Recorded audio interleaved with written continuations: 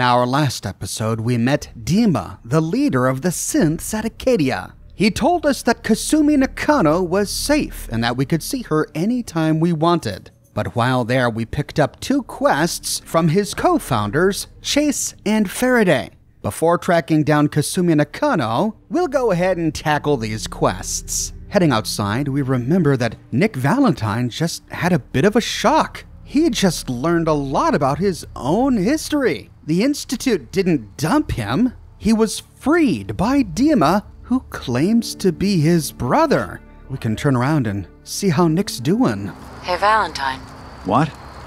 Oh, sorry. Just got my head full of what Dima was talking about. It's a bit of a shock. What do you think he is, really? Family? Before I answer, are you okay? I'll keep. Don't worry. I just need to figure this all out. Honestly, I don't know what to think, Nick. Yeah. Guess that makes two of us. I don't trust him, Nick. You shouldn't either. It's not really about trust.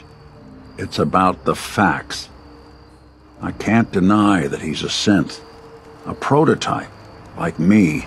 It's hard to deny it, Nick. Similarities are pretty obvious. I spent a long time wondering if the Institute had made any other prototypes. If I was just a failure, or they gave up, or just plain got bored. I always thought I was just more of their discarded trash. I never thought of the possibility that someone wanted me out, helped me escape. There's got to be some kind of proof out there. What really happened between me and Dima? I'd appreciate it if we could keep an eye out. What kind of proof would we be looking for? I don't know. But our best bet is to keep looking into Dima and Acadia. I'll try. But no promises, Nick. We don't even know what we're looking for. Fair enough. I know we don't have much to go on. Just keep me in mind if you find something that might give us some answers. We don't really have time for this, Valentine. You're all heart. Look, I'm not expecting you to just drop everything to search for proof we don't even know exists. Just keep it in mind. Of course, Nick. We'll find something. Thanks. I know we don't have much to go on. Just keep me in mind if you find something that might give us some answers. So Nick wants to find evidence for the claims that Dima is making. But how are we going to find evidence about something that happened a hundred years ago in Boston? As Nick said, our best bet to find this evidence is to continue to explore Acadia and to get to know each of these Acadians as well as we can. And we can start by doing their quests. We'll start with Chase's request first, since she wanted us to head to Far Harbor and talk with Brooks. Remember, she told us that Brooks is really a synth. He's a checkpoint in Far Harbor who meets synths when they arrive on the island. He is a stopping point that helps synths get to Acadia. Chase told us that one of the synths has gone missing, and so we can head to Brooks to find out if he knows anything about the missing synth. I need to talk to you about a missing synth. Yeah? Well, it's not something I talk about with outsiders. So you can either buy something or move along. If that synth got lost somewhere on the island, he could be in real trouble. Don't you care about that? Look, friend, no offense. What I care about is my business. Ah, that famous Far Harbor hospitality. How could you not love it? It grows on you. Will there be anything else? Look, Chase sent me. So unless you want to piss her off, you better lose the attitude right now. Chase. Hmm. A name sounds vaguely familiar, but I can't quite place it. Anyway, you want to buy something? I'm working with Chase. She told me that your designation is L792. Okay, I believe you. Keep it down, all right? It's real private information. I know the synth you're talking about. He's a younger guy, maybe early 20s with white hair. Goes by the name Derek. Thing is, he showed up way earlier than he was supposed to. Thought a courser was on his tail, so he rushed the timetable. To be honest, the guy was a wreck. He was scared shitless, looking over his shoulder every five minutes and attracting unwanted attention. Tried to calm him down, but he panicked and ran off into the fog. That was the last I saw of him. His response here is really funny because if we talk to some of the harbor people, they already know that he's a synth. Brooks is a mainlander too. And a synth, whatever that is. Can you tell me anything else? I'm gonna need more information than that if I'm gonna find the synth. I wish I had more to give you. He disappeared into the fog, and I haven't seen him since. That synth could be wandering around out there right now, lost in the fog. I'm gonna need more than that. I've told you everything I know, all right? You let him run off alone? What the hell was I supposed to do? I'm on my own here. Relax. I'll take care of this. Sorry. My nerves are a little shot right now. Look, if you're really going after that synth, I'm pretty sure he took the road south out of town. Maybe you could head that way. Just be careful out there. And thanks. There aren't many who'd go out in the fog to help a synth, especially one they don't even know. I feel like shit about what happened. I really do. I hope you can make it right. Oh, great. We've got a synth who decided to wander off into the fog.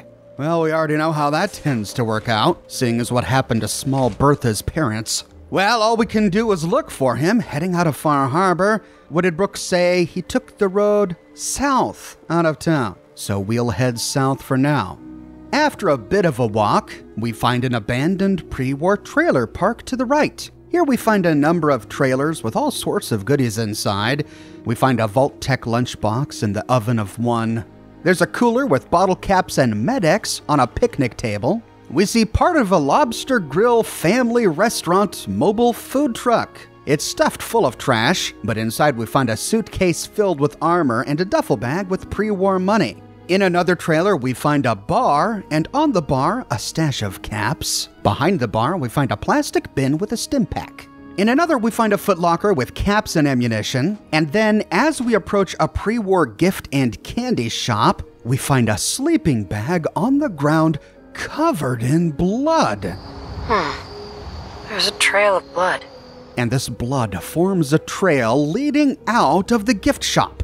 This blood looks fresh, not blackened and crusty like pre war blood. The duffel bag nearby is empty, which means someone has been here and looted it. Under one of the shelves, we find some psycho, and then heading outside, we can try to pick up this trail of blood. We find the next spot lying on the ground next to a wrecked picker up truck. It continues down the road to the southeast, back behind one of the nearby campers, and towards the main drag. Here we follow the blood trail south, puddle after puddle. Good grief! How much blood did this guy lose? Eventually, the blood trail turns east, goes down a hill, and stops right outside a ruined house. There are pre war Halloween decorations just outside, and inside we find some trappers. But these trappers aren't initially hostile. Maybe they're full? Excuse me. Fresh meat crawling in from the fog. Don't care if it's Mirelurk or man. What if it's a Mirelurk man? Hey, that would be a great name for a superhero. Leave! Or die. They're cannibals? We survive. But if we have the cannibal perk, that dialogue option turns out differently. I understand. I get the cravings too. Hey, maybe we can help each other. I'm just looking for a man with white hair. Yes, we can help you. We found him, dragged him here, had our fill. But uh, you're here. What's what's left is yours. Now go. Don't come back. With that, the trapper gives us his leftovers. Examining our inventory, we see that they've given us a missing synth head. Oh, and examining it in our inventory, sure enough, he's a young man with white hair. It's Derek. They ate him. We can get this head without the cannibal perk if we pass a moderately difficult speech check. I'm not looking for trouble. I just need to find someone, a young man with white hair. You help me, I'll leave. Yeah, we found him. One of the fog's creatures already attacked him. He was bleeding out, but you know why waste the meat? Here, well, what's left? Take it. now go. Don't come back. The trappers claim that they didn't kill him, that a creature from the fog killed him, and they just ate him. It was an opportunistic meal. But if we just detest cannibalism, we can attack. You're dead.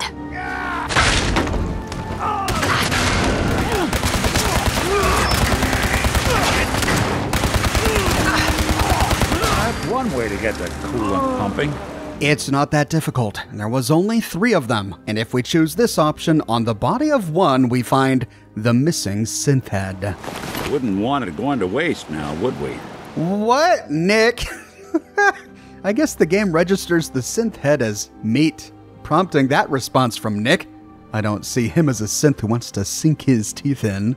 Exploring their little trapper home, we see that they are indeed cannibals. At a cooking station next to a stew pot, we see half of a human skull. It can't be that of Derek. We've got his head in our bag. This is some other poor victim they ate. Heading upstairs, we see a ruined pre war crib with a baby rattle still inside, and nearby, lying slumped over in a chair, is likely the baby's mother.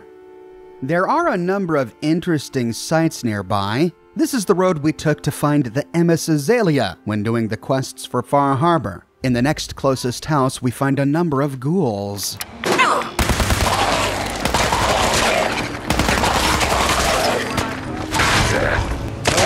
Clear. On the bottom floor of this house, we find a cam box on a side table. Taking the ramp upstairs, we find an expert locked wall mounted safe with a slew of ammunition inside. Interestingly, they have a mass fusion poster on the wall. Interesting to find fans of a Boston power company here in Maine. And from here, we find a staircase leading to the attic, but it's blocked in. However, I've got a jetpack. Ah! Here we find an end of dungeon steamer trunk. There's a fallen tree leaning against the attic. Looks like we could have gotten up here even without a jetpack. Interestingly, we find the remains of a statue just outside. The waist of the statue is all that's left on the pedestal. We find the limbs and the torso lying on the ground. On the front porch, we find a woven basket with a teddy bear inside. And if we take the staircase up, we find a small graveyard on a hill that has been decorated with human remains. Possibly the work of trappers, I guess. The tombstones are all cracked, and it looks like all of these graves have been exhumed. We find skeletonized remains all over the place, pouring out of the coffins and sometimes decorating nearby posts. On a bulletin board nearby, we find one piece of Calmex. Pretty rare chem. Nearby, we find another ruined house with a lit lantern on the porch. The door's blocked up, but we see a ramp of wood leading through a hole in the wall. Here we find the woman of the house lying dead on a couch. We can loot a suitcase near to her body. Looks like she was preparing to go but didn't make it in time. And a cap stash on the ground. Upstairs, we find the skeleton of the man of the house peering through a hole in the floor. On the table is a camera pointing out to sea and a photograph of some city lying on the table. If we follow the line of sight of the camera, we eventually find a bunch of shipwrecks. Trappers have made ramps connecting most of these shipwrecks.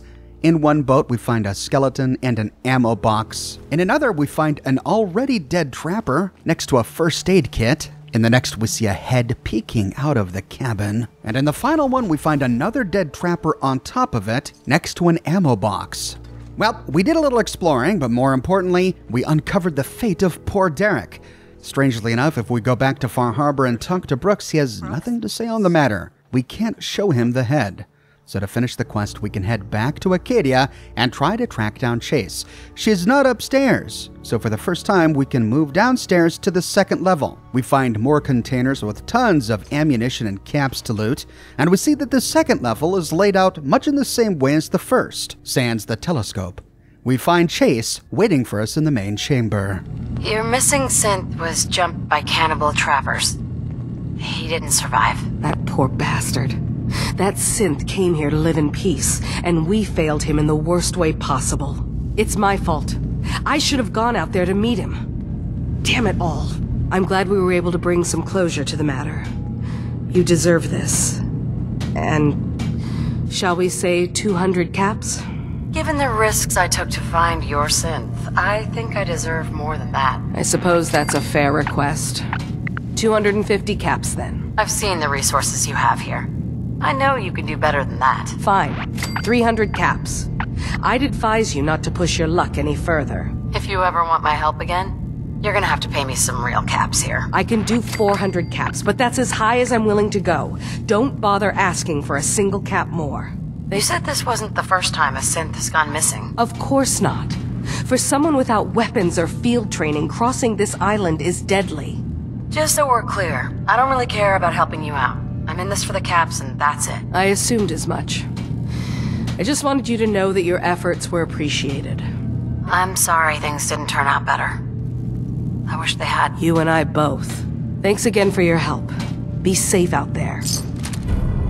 With that, we complete the quest The Arrival, and Chase rewards us with a legendary Institute rifle. The mods on this thing are randomized each time we get it, so we could abuse it by quick saving just before finishing the quest to get a weapon with the mods that we want, but it always comes with the same legendary effect the Hitman's legendary effect, which is a brand new legendary effect that comes with Far Harbor. It grants plus 10% to damage while aiming. The weapon has all of the same mods as any other Institute weapon.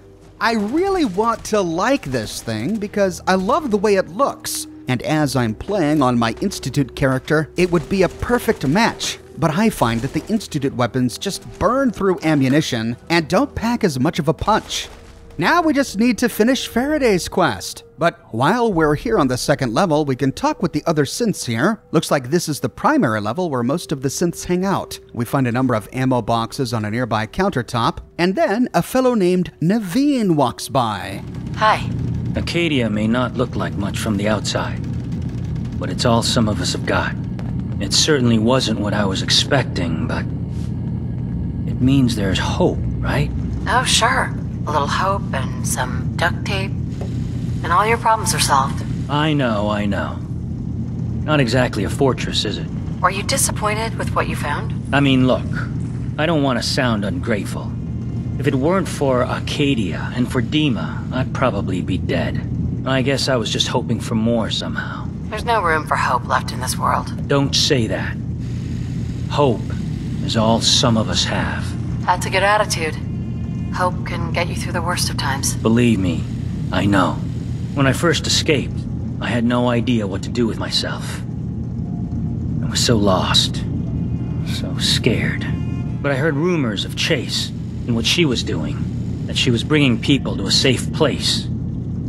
A place just for us. And now here I am. For all it's worth. So now you're here. What comes next? I don't know. I really don't. Well, I hope it's worth it. You and me both. You're a fool if you think you're really safe here. Well, it's not like I have anywhere else to go. You're lucky to have found a place in the world. Yeah, I guess. This just wasn't where I thought I'd end up. Any of it. I've just gotta keep telling myself I'm better off here than dead. Yikes. Looks like not everything is glitter and rainbows here in Acadia. I wonder if the other Acadians feel the same way. Behind the counter, we find Dejen, who appears to be a bit of a merchant. Excuse me. I assume you're not planning on staying long. Gosh, after a welcome this warm, who wouldn't want to just stay forever? This place isn't for you. Is there a problem with my being here? Maybe. Maybe not. That's a little rude, don't you think? Treat all your guests like this? No. We don't have guests. I'll probably be leaving soon. That's for the best. Acadia is only as secure as we make it. We take unnecessary risks, we get careless, and things can go bad. Fast. If there's a synth who needs a safe place, then we take them in. Let them live as a synth, without fear. You don't fit that description. That makes you an unnecessary risk. It's nothing personal. Minimizing our contact with outsiders is just practical.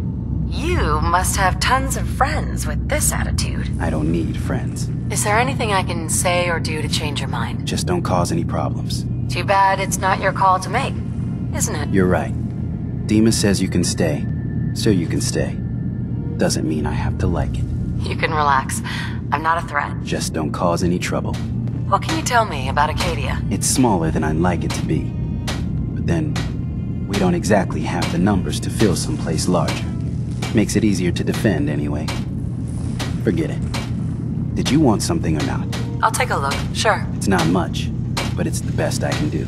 I don't know whether this guy is just humble or doesn't understand what he has for sale, but Dejen here sells two really cool items. The first is Old Reliable, which is a lever action rifle, a brand new weapon that comes with the Far Harbor DLC with the two shot legendary effect. It shoots an additional projectile. This is just an amazing weapon. It's the end game weapon for my Minuteman sniper character. A character I've used in most of my older lore videos, so you've seen me use this weapon quite a lot. It's one of the best realized new weapons that came with Far Harbor. It has a number of amazing mods. It comes with many receiver options. It has four barrel options short, long, short ported, and long ported. Three stock options short, full, and marksman stock. I love the bullets we see there on the stock with the marksman stock. And a number of different sight options. And it has two muzzle options a compensator or a suppressor, and that suppressor is just cloth wrapped around the barrel. I love it. This is the weapon I always wanted back when I first started playing Fallout 4. It's gorgeous, well made, has a brand new ammunition type, which is a bit rarer than I would like, and it just feels fun to hold and shoot. Now, it does come with a glitch. Every time we reload the weapon, it reloads the entire magazine, even if we've only fired one shot. This can be really annoying for a sniper. But thankfully, there are free mods available that fix this issue. But that's not all. Dejen also sells Sergeant Ash, a legendary flamer. It has the kneecapper legendary effect, granting us a 20% chance to cripple a target's legs. As I'm sure you remember from Saugus, the Flamer isn't exactly new to Fallout 4, so it has all of the same mods as a regular Flamer, but this legendary effect on a flamer is stunning, since it rolls the 20% chance to cripple limbs for each attack, and since as a flamer, it shoots just a steady stream of flame, we trigger the legendary effect multiple times per battle. This gives us an almost guaranteed chance to cripple an enemy when using this sucker in combat. Here I am at the hotel using it against ghouls, and I'm just crippling them and stepping back and letting them hobble to me. they can't even get to me. The problem is that it does use flamer fuel, and it uses a lot of it, so we go through fuel really quickly. But still, great little weapon. Dejen has ammo types of all imaginable varieties for sale, and he's got about 400 caps to barter with, so he's an excellent little merchant. But man, what a personality! What is it with these Acadians? They're either depressed or just flat out rude. On the countertop next to Dejen, we find the next issue of Islander's Almanac, Children of Adam Expose. We receive 10% less damage from radiation based attacks. Well, I think this is gonna come in handy. With that, we've found four of the five copies of Islander's Almanac on the island. We have only one more to find. We'll have to keep our eyes peeled. Not enough folks value keeping the old CPU sharp anymore. Behind the counter, we find a couple more containers to loot and a few more Acadians working on the workbenches. We'll talk with Julie here. New girl, right?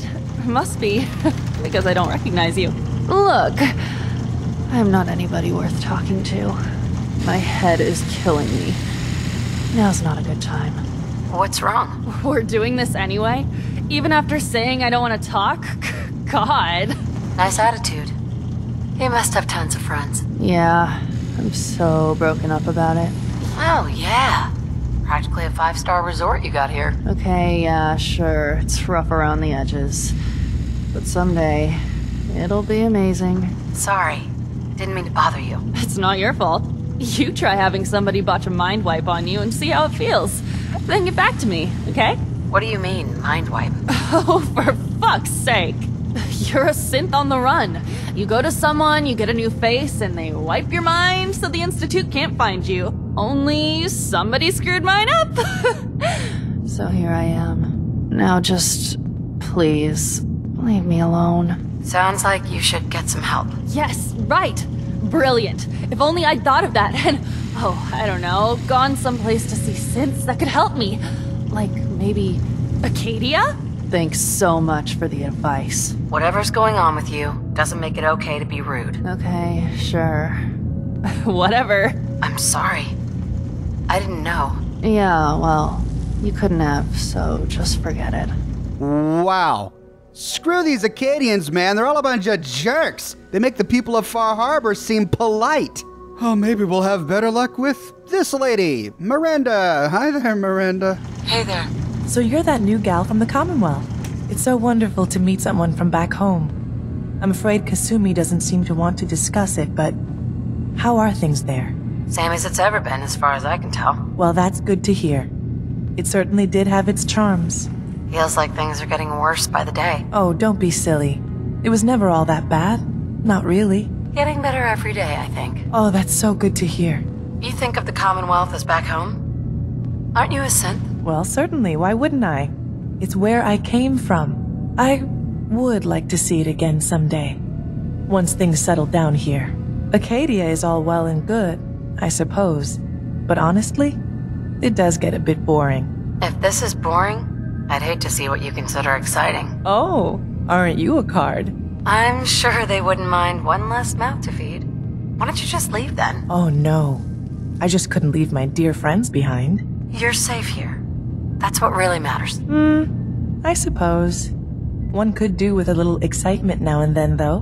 Don't you think? No offense, but are you crazy? oh, you. I think we're all a little mad in the end. I'm sure I'll see you around. Do take care. Okay, lady. Something a bit off with her. Oh my, aren't you a card? what the heck? Who talks like that? Okay. Well, at least she was somewhat decently polite. Maybe they're not all jerks here. Exploring the perimeter of this large chamber, we find a number of containers and a bunch of beds. Looks like this is where the majority of these Acadians sleep. Uh, which means I'm probably looting all of their private possessions. Money and bobby pins from suitcases by their beds, but they don't complain, so hey, I'll take what I can. At the northern end, we find a staircase going down to the bottom floor. We'll go down there to find Kasumi in a bit. And sitting on a couch nearby, we find Cole. Hi. You're new here too, huh? I mean, I haven't been here that long myself. Honestly, I'd be dead right now if it weren't for Chase. Turns out it's pretty hard to live as a synth in the Commonwealth. Do you think you're better off now that you're here? Oh, absolutely. I don't have to pretend, I don't have to lie, and I don't worry that someone's gonna kill me in my sleep. Or worse. It's a tough world for everyone, not just synths. I'm not saying it isn't. Just, most folks don't want to kill you simply because you exist. You didn't tell people you were a synth, did you? You should have kept it to yourself. Easy for you to say. You haven't had to spend your entire life pretending to be something you're not. I'm sorry to hear that you suffered. Thanks, but it doesn't matter now. I'm here, and I'm safe. And I'm never leaving. I'll see you around, okay? Oh, okay, looks like we found a normal one. And he seems to actually like being here. Uh, the only one we've found so far who likes being here. After looting even more containers going around the perimeter, we see another door on the northern side. This goes upstairs to the observatory. This is the staircase on the other side of that door that required a key that we saw upstairs. It's unlocked now. We see a room behind some glass, similar to Faraday's room. We can move on in to see what's in here, and it looks like a bit of a lab of sorts. Tables covered in potted plants, and lots of scientific equipment all over the place. We find two stimpaks on a table and two first aid kits nearby. Right next to this is a chemistry station. This must be their medic bay as well. After looting some fertilizer, we can talk with what is presumably the doctor, Aster. Hi. So, I understand you've seen a good bit of our island. What do you think? Quaint. With sort of an old world, burn it to the ground and salt the earth kind of charm. Hmm, interesting. Of course, it was already burned to the ground once. I'm not sure attempting that again would yield much. The term hellhole comes to mind. Perhaps a bit harsh, but the environment certainly can be unforgiving. It's kind of beautiful, in its own way. That's refreshing. Most don't view it the same. I'm glad someone else can see it. You're the one who lives here. What do you think of it? Well, I. I think it's all rather compelling. This island, with all of its danger and beauty, predates you and I. The ecosystem isn't what it once was, but it has adapted, and it will continue to adapt, long after we're gone. What's important, really important in the long run, is understanding it, and then passing that knowledge along to those who will follow us.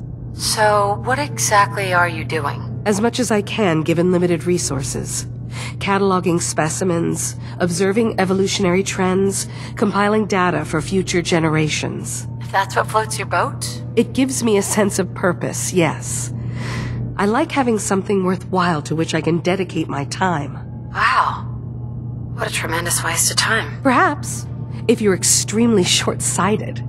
Or maybe you have some better plan for helping future generations survive. That sounds like a noble goal. Well, thank you.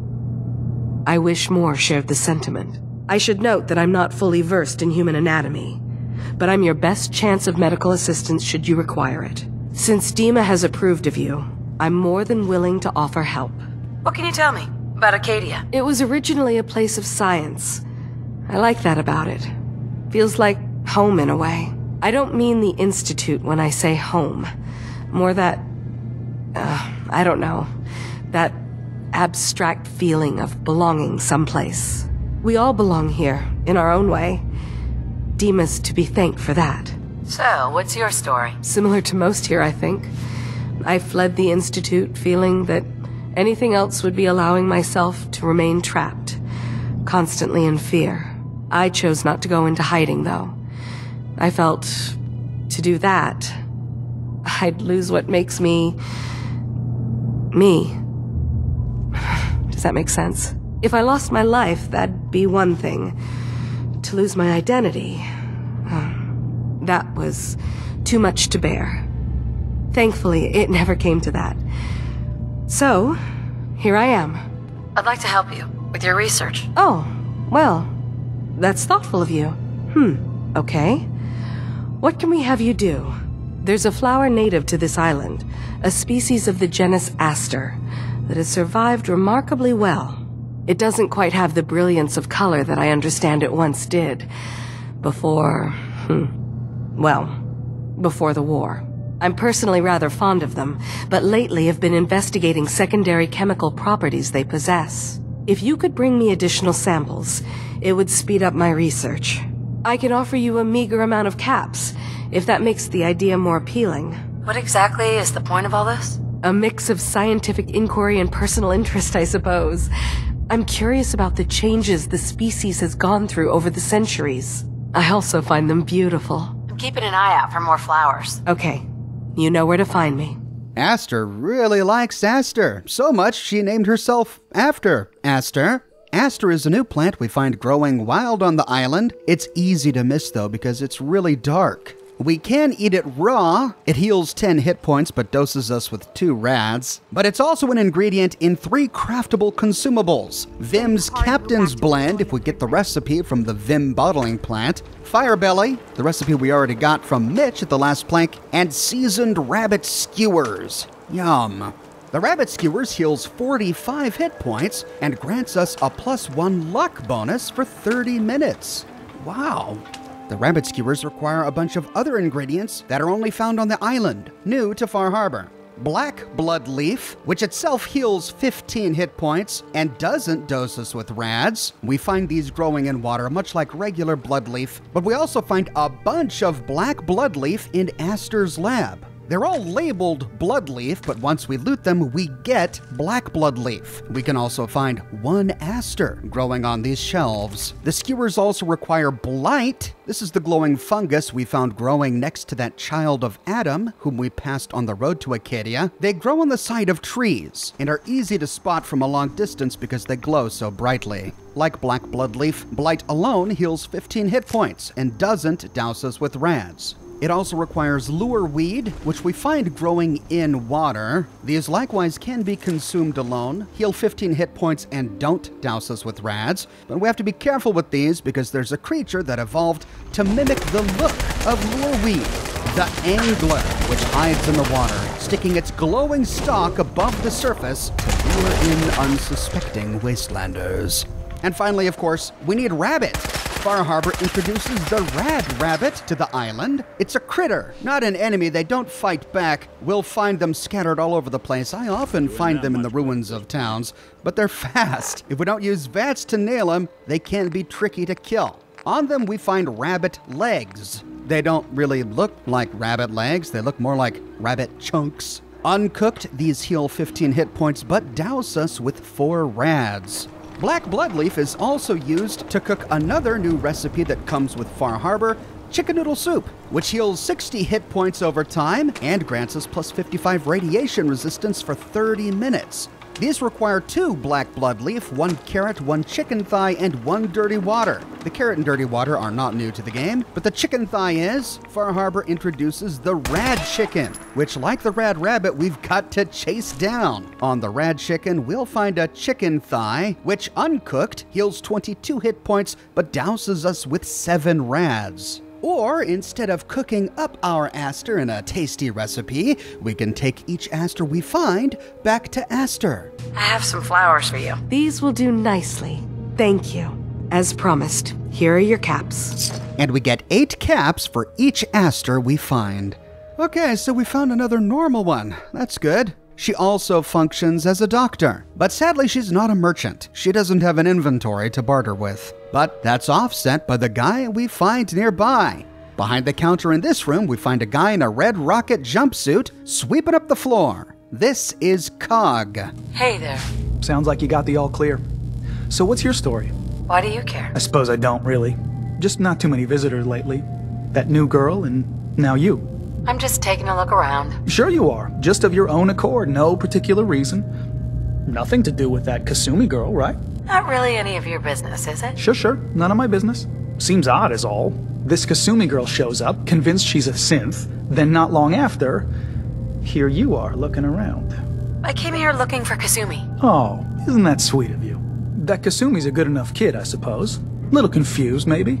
But then, aren't we all? Not that anyone's asking, but I'll tell you. It all gets easier to deal with when you realize none of it matters. What you are, where you came from, let go of all that, and life gets simple. That sounds pretty bleak to me. It's all in how you look at it. Is there anything you care about? I mean, staying alive is preferable to not. Beyond that, what's the point of caring? You must be the life of the party around here. Hey, if we had parties, I damn well would be. Yeah, I hear ya. Is that so? Huh. Most of the chumps here act like I'm out of my gourd. Good to know someone else sees it my way. Anyway, lately I've taken to amusing myself with trading. Don't have much to work with, but I'm always happy to make a good deal. Let me know if you need something. I probably won't have it, but let me know anyway. So, what's your story? Me?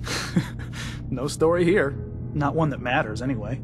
Like I said, it's not worth holding on to. Nice of you to ask, though. Anything interesting you can tell me about Acadia? God, no. Have you looked around this place? Death by boredom is a legitimate concern.